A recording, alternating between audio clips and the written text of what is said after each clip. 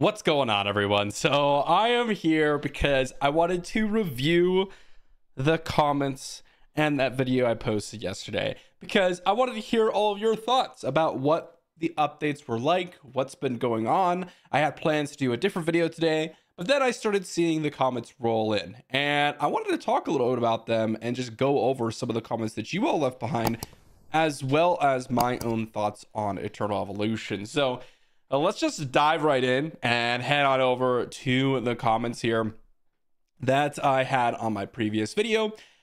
Basically, what I asked was, hey, what do you all think about the new Twilight What do you think about the new systems? What do you think about this update? Because what I've been feeling is all of the recent updates that we've gotten were all like fine, decent, nothing like too crazy, nothing to really complain about but they always seem to miss the mark. And the way they miss the mark is by not actually providing something that the players are excited about. And that is a really key factor in not keeping a lot of your player base around. Is if every update is just like, oh yeah, whatever, it's just like, okay, cool, more of the same. But you don't have that like killer instinct, that really exciting thing that makes everyone like, oh dang, I gotta log in, I gotta play this then you're really going to find a drop in players. And for Twilight Lands, that was this game mode. It was like, oh, Twilight Lands is coming around. I gotta log in. I gotta make sure I'm doing my Twilight Lands because it is extremely worthwhile to go and get all those rewards, participate in the game mode, and earn my way through. And then this update came out, which is like the first big Twilight Lands update that we've gotten since like they added the new chapter 16. And once again, they have missed the mark. And I'll just go through some of the comments here. Um, I mean, look, the Twilight supervisor needs to be fired. Okay, let's. I'm not going to call for anybody, uh, you know, being fired, but they're just not happy. Um, they removed the limited tickets. You know, they were talking about how grinding so hard for these aren't worth it. The stages are way harder and took away the limited tickets when they said they would add more limited tickets and more options to, you know, more ways to get them just a trash update, bring back the old version. And this is the start of me not playing anymore.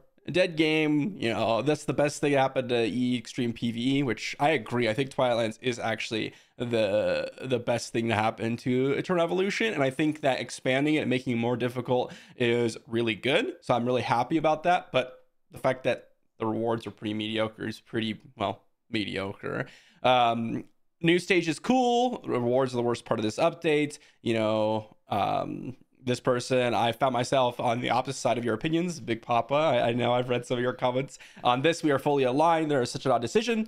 Overvalue the new currencies while at the same time not understanding what a typical player's account must look like at this stage in the game to push. Spot on. New content drop fantastic. Rewards terrible. And this just feels like every single update. And to be honest, it's it's it's really just kind of sad, you know? Um, and I'm not going to sit here and like continuously be sad about Eternal Evolution. Eventually, you know, there comes a time when it's like, okay, maybe, maybe it's just, maybe it's just this game is just losing too many players and they haven't really hit a good update, etc.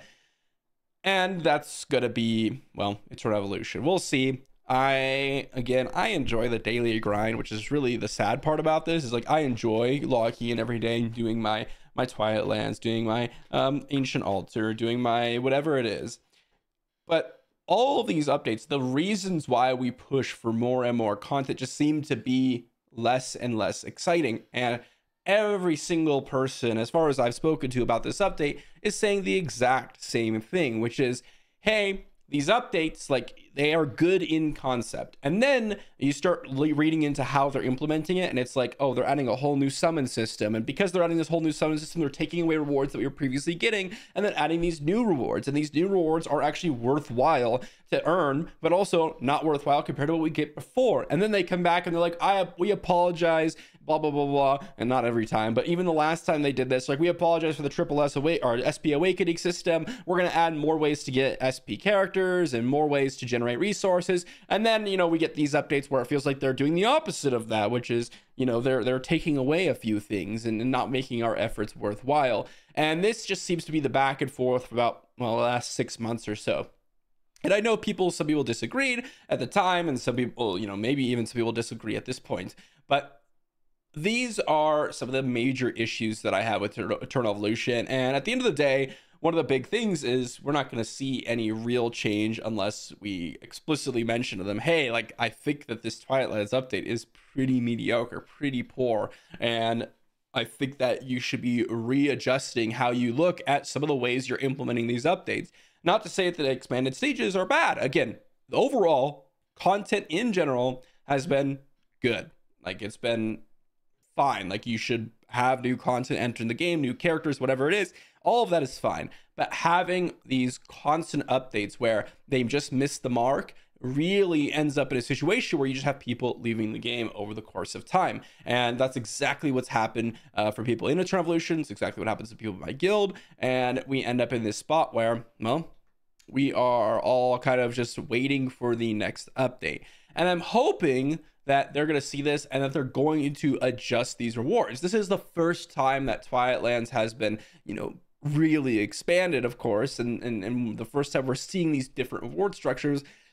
So if they change it, then you know they change out epic runes for mythic runes, or if they change out you know the uh, tempering materials and random gems for like limited cards and gene hybrids and things like that, then we could see something different. But then there's a whole nother issue, and this is I guess less so because I I still think that you should be creating content for everyone. Um, but there's also a, a definitely merit to be creating content for the people who are at the top of the game. But every single update is almost exclusively for the people that are like the top 1%. And maybe, you know, there's people in the comment section be like, yeah, you're not the top 1%. I'm the top 1%. Like, I am the ultimate player in the whole world and, you know, all this stuff.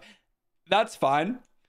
In terms of PvE, the people who could participate in chapter 17 and the people who could do the new stages of Kitoshan Triangle, they are the top 1% of players inside the game. And unfortunately, that's like just not a lot. And so no one's really actually experiencing a different version of the game or any advantages to these changes. Now, I will say with the Twilight Lands, the earlier stages actually um, did change a little bit, but they remove the limited cards and replace them with gene hybrids. So it really depends on kind of how you look on how valuable those earlier stages are. But we're not seeing any changes or advantages or gameplay differences for the earlier players, with the exception of obviously the new characters that people have access to, which kind of make it easier for that earlier game content. But there's no engaging or no, I guess, reward expansion or, or acceleration given to these earlier game players. So it's twofold for that, or I guess for these reasons.